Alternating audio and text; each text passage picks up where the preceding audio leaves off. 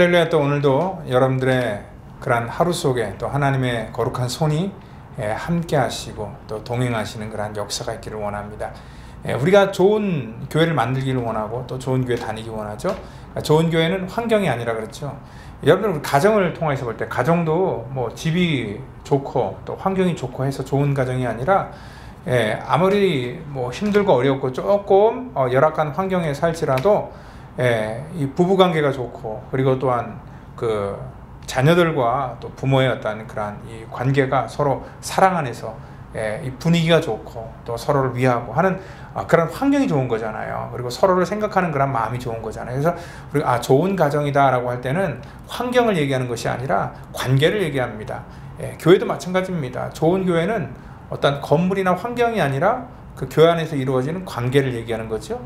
예, 그래서 어떤 구성원들이 또 어떠한 어, 믿음의 고백을 가지고 같이 모이고 또 연합하고 교제하고 또 하나님과 같이 그러한 영적인 교통함이 있고 성도와 같이 아름다운 믿음의 교제가 있는 그러한 교회를 우리가 좋은 교회다라고 이렇게 말할 수 있는 것이죠.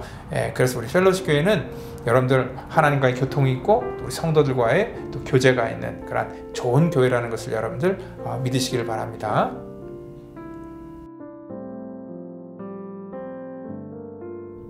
안디옥 교회에 선지자들과 교사들이 있으니 곧 바나바와 니게르라 하는 시므온과 구레네 사람 루기오와 분봉왕 헤롯의 젖동생 마나엔과 및 사울이라 주를 섬겨 금식할 때에 성령이 이르시되 내가 불러 시키는 일을 위하여 바나바와 사울을 따로 세우라 하시니 이에 금식하며 기도하고 두 사람에게 안수하여 보내니라. 예, 하나님께서 안디옥 교회를 바라보시면서요, 예, 어떠한 생각을 하셨을까라고 볼 때, 여러분들 오늘 여기 그 짧은 그런 이 세 절의 말씀이지만 오늘 이 말씀 속에서 그 교회의 모든 모습들을 우리가 볼 수 있습니다. 제가 뭐 어, 시리아는 가본 적이 없고 이 시리아에 있는 안디옥 교회를 방문해 본 적이 없지만 예, 또 다녀온 분들의 그러한 어, 얘기를 들어보면은요, 어, 이들이 모였던 믿음의 그러한 이 터는 굉장히 협소하고 또 작은 그러한 공간이었다라는 것들을 얘기할 때에 안디옥 교회가 규모나 어떠한 그 여러 가지 환경적인 요소 속에서는 예, 별볼 일도 없었고 그렇게 큰 교회도 어, 아니었는데도 불구하고 오늘 그가 교회를 우리가 시리아에 있는 안디옥 교회를 어, 정말 모델로 하고 또 그 이름을 또 쫓아서 이 땅에 수많은 교회들이 안디옥 교회라고 이름을 짓는 그러한 어, 이유도 뭐냐면은 어, 바로 그러한 이 교회를 담고 싶은 그러한 어, 모습들이 있기 때문에 예, 그렇다는 것입니다. 그 교회가 좋았던 이유는요, 어떤 외적인 요소나 규모나 또 어떤 교세 때문이 아니라 아, 구성원 때문이고 또한 그 가운데서 일어나는 그러한 일 때문에 그렇다라고 얘기를 할 수 있습니다. 이 구성원들에 대해서 오늘 잠깐 얘기를 해주는데요. 오늘 여기 이 구성원들이 누구냐면은 곧 바나바와 니게르라 하는 시몬과 구레네 사람 루기오와 분봉한 헤롯의 젖동생 마하엔과 및 사울이라 얘기를 하고 있습니다. 자, 이 한 사람 한 사람 다 누군지 정확히 모르겠지만 여기 대충 우리가 생각해 볼 때 바나바 잘 알죠? 우리가 사도행전 4장부터 정말 이는 유대인이었지만 어, 자기의 그런 재산을 팔아서 어, 초대교회 공동체에게 아낌없이 내놓을 수 있었고 사람들을 위로하고 또 사람들을 세워주는 그러한 하나님과 늘 동행하기를 원하고 우리 주님을 사랑했던 그러한 친절한 사람이었다는 것을 알 수 있고요. 예, 그리고 또 여기 어, 표현을 보니까 니게르라 하는 시므온 여기 어, 니게르라는 그러한 얘기를 하는데 우리가 어, 흔히들 이 속어로 흑인들 얘기하다 니그로라는 얘기를 하는 것처럼 아마 이 니게르는 어, 그 흑인이었다. 그래서 시몬은 아마 어, 흑인이었다라는 것을 볼 때에 그 시대 속에 어떤 그 아프리카 쪽에서 왔던 그러한 이방인으로서 어, 그 사람이 어떤 그 높은 위치에 있다라고 생각할 수는 없고요. 어, 뭐 어떠한 이유로 어, 이곳에 왔는지 모르겠지만 피부가 다르고 또한 어, 그 사람은 그 시대 속에서 또 다른 그러한 모습으로 살아갔던 사람이다라고 얘기를 할 수 있고요. 또한 같은 아프리카 지역이지만 또 여기 나와 있는 그런 그 구레네 사람 루기오 여기 구레네는 뭐냐면 바로 어 그 약간 그 북쪽 지역을 어 얘기하는 것이고요. 예, 그 북쪽 아프리카 지역에서 왔던 이 사람도 역시 이방인이었고 이 사람도 사실 누군지는 정확히 모릅니다. 또 하나 사람 주목할 사람이 있는데요. 분봉왕 헤롯의 젖동생 마나엔이라는 사람이 있습니다. 아 헤롯의 젖동생이라고 하면은요. 헤롯 왕가 왕 왕의 가문 속에서 어, 자랐던 사람은 굉장히 고유 관료 그리고 어, 범접할 수 없는 그러한 어, 위치에 있는 높은 그러한 어, 사람이었다라고 어, 생각할 수 있고요. 또한 사울도 어, 어떠한 사람입니까? 우리가 알기까지는 어, 그는 철저하게 유대적인 전통 속에서 예수 믿는 사람을 잡아다가 죽이고 어, 박해했던 사람 그리고 철저하게 율법적이었던 사람 근데 이 사람이 예수를 만나 어, 그가 담메색 도상에서 완전히 변화된 사람 어, 그렇지만 이 사람에 대한 그러한 이 크레딧은 여전히 어, 불분명했던 그러한 사람들.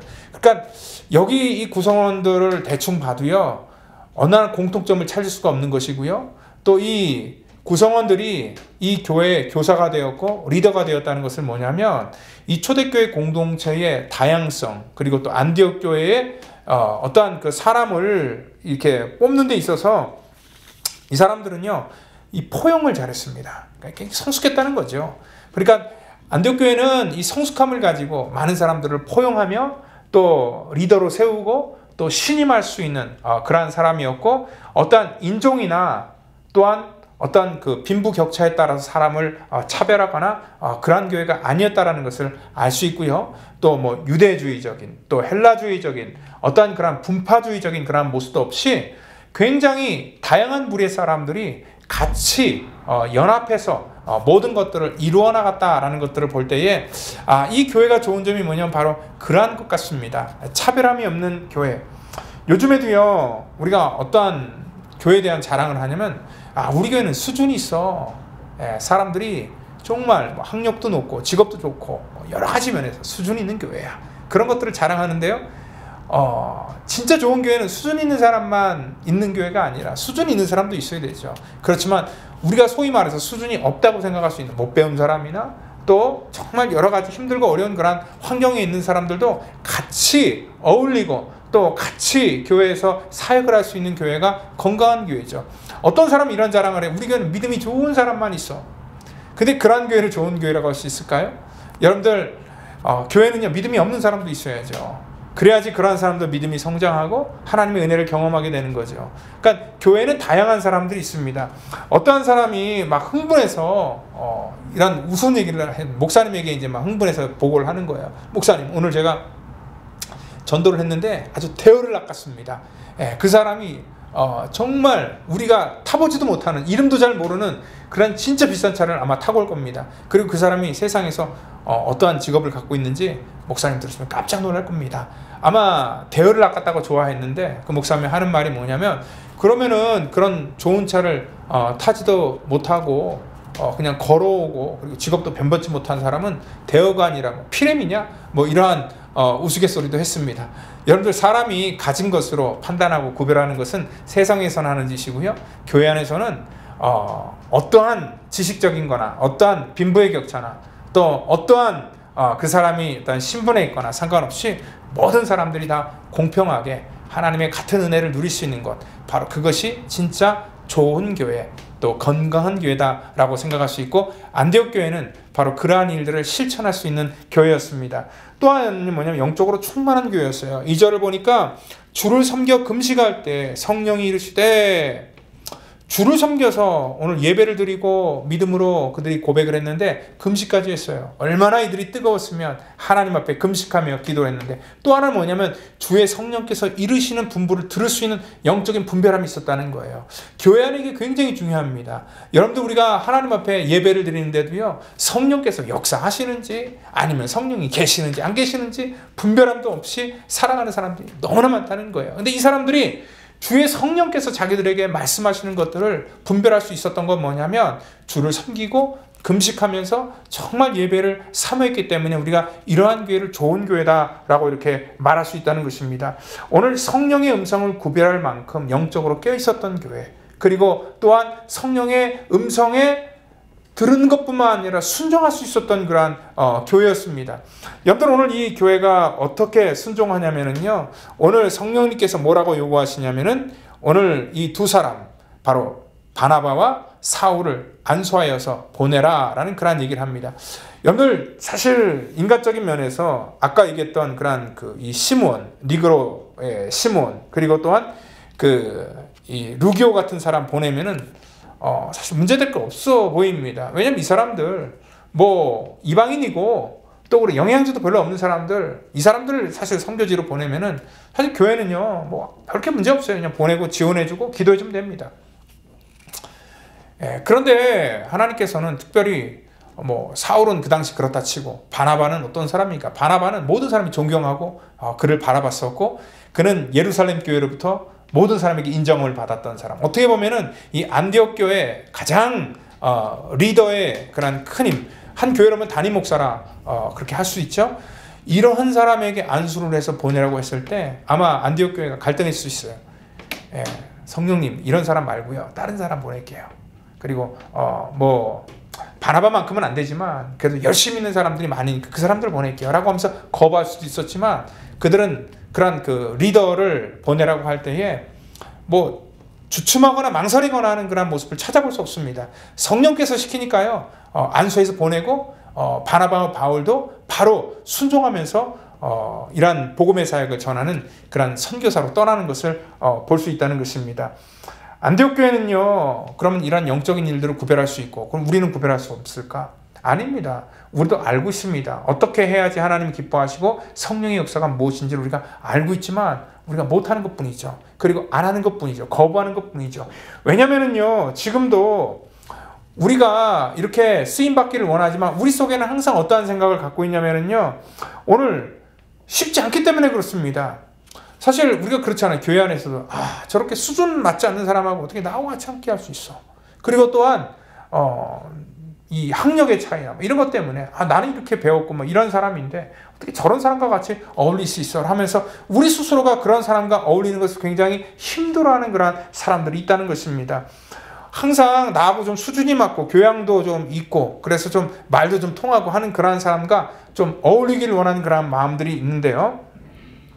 그래서 교회는 여전히 여기 그이 어, 헤롯의 젖동생인 마한 마한 같은 사람이 막 대접받기를 원하고 또한 아, 교회 안에서도 여전히 그는 어, 이런 높은 귀족으로서 어떤 그 차별을 어, 스스로 하고 또 이렇게 구별됨을 받기를 원하는 그런 마음들이 우리 속에 분명히 있습니다. 네, 그런데 이러한 것들을 깨뜨리고 어, 정말 모든 인간의 생각들을 어, 다 내려놓고 성령의 뜻에 순종할 때에 하나님의 놀라운 역사가 어, 있게 된다는 것입니다. 오늘 이 교회는 모든 면에서 다 열어놨습니다. 성령께 순종하기를 원했습니다. 그리고 성령께서 시키시는 것들을 감당하기로 어, 그들은 결정했다는 것입니다. 이게 굉장히 중요합니다. 여러분들 우리 모두는요 이렇게 어, 하나님 앞에 좋은 교회를 다니기를 원합니다. 좋은 교회는 어떠한 교회냐면 성령의 음성에 순종하는 교회. 그리고 또한 우리 인간의 생각들을 내려놓는 교회. 그리고 이 안에는 어떠한 차별이 없는 교회. 그리고 어, 여기에서는요 하나님의 뜻만 있는 그러한 교회. 그 교회가 좋은 교회고 어, 좋은 교회라는 것은 아까 얘기했듯이 환경이 아니라 어, 우리가 갖고 있는 그러한 이 관계성이고 또 하나님과 우리와의 관계라는 것을 여러분들 믿으시고 오늘도 여러분들 우리는 좋은 교회를 다니고 있고요. 또 좋은 교회 속에서 승리하는 저와 여러분 되기를 어, 예수 이름으로 축원드립니다. 기도합니다. 하나님 감사합니다. 우리에게 펠로십 교회 믿음의 공동체를 주신 것을 감사합니다. 하나님 이 교회는 참 좋은 교회입니다. 아, 연령도 정말 다양하고 또 구성원도 다양하고 하나님 모든 것들이 다양하지만 하나님의 은혜 가운데 모든 사람들이 또 하나가 되어진 것도 감사합니다. 이러한 신앙생활을 또 이 라스베가스에서 우리가 할 수 있는 것 이것도 주의 은혜입니다. 하나님 이렇게 좋은 믿음의 구성원들을 주셨는데 정말 주의 음성에 순종하면서 하나님께서 맡겨주신 일들 감당하여 칭찬받는 교회 될 수 있도록 인도하여 주시고 또 내일은 거룩한 주일인데 하나님 또 예배 속에도 하나님의 그 기름 부으심이 하나님 우리 모든 예배의 장소 온라인이든 오프라인이든 하나님 모든 곳에서 하나님께 예배 드릴 때 성령의 기름 부으심이 넘치는 그러한 복된 예배가 되기를 간절히 바라고 원하며 사랑이 많으신 예수님의 이름으로 기도드립니다. 아멘.